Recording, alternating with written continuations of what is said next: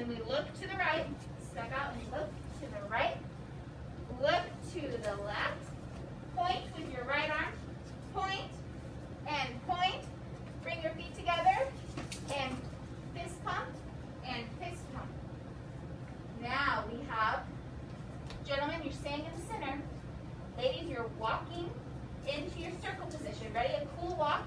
Eight counts. Here we go. One, two, three, four, five, six, seven, eight. Bella, join the circle, please. Okay, now let's make our circle just a little bit bigger.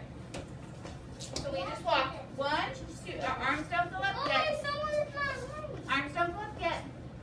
Now we walk. Guys, you're doing high fives, you're doing shooting baskets, you're doing dribbling, you can do dance moves with us if you want. Ladies, we walk one, let's pretend we just walked here. One, two, three, four, five, six, seven, eight. Then we go lean to the right. One, two, three, four, shoot our basket. Five, slap our knees on six, pump our arms, seven, eight. Then arms go out. Guys, we're not gonna wrestle in the middle though. Okay, arms go out on one, hold two, then we all scoot to the right.